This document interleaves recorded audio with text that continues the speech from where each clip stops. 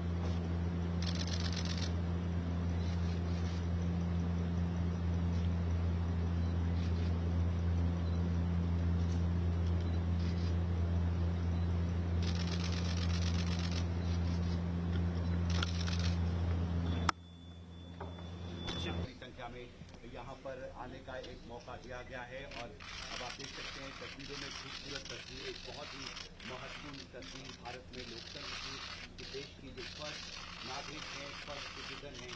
द्रौपदी मुर्मू वो अपने ink sign को दिखा रही हैं, अपनी उंगली पे स्याही को दिखा रही हैं और खुद इस पूरे अभियान में, जैसे मैंने पहले कहा, राष्ट्रपति द्रौपदी मुर्मू ने इस कैंपेन को, राष्ट्रीय कैंपेन था, उसको ठीक किया है और वो मतदान जा रही है। महत्वपूर्ण ये है कि देखिए दिल्ली में इस